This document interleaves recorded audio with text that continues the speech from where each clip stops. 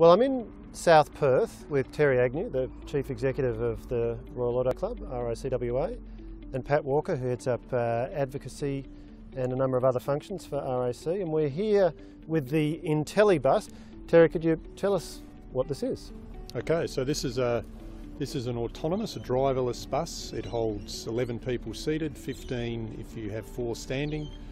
It's, uh, it obviously has huge road safety benefits, it has environmental benefits, and it also fits as a bit of an anti-congestion buster mm. because it, or a congestion buster because it feeds into the public transport system. Mm.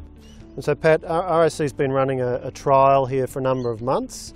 Uh, I've just had the chance to ride. It's a terrific experience. So tell me a bit about the trial and what you're aiming to achieve with it. Yeah, sure. One of our big motivations is road safety, road trauma. Um, given that 90% of all accidents are caused by human error, we see in the mid to long term, obviously, huge savings in terms of people save lives and also serious injuries. Terrific. Well, Terry and Pat, thank you for telling me uh, about this project and well done to uh, RAC for really helping uh, people here in Perth understand a bit about what uh, driverless technology can do and what the future might hold.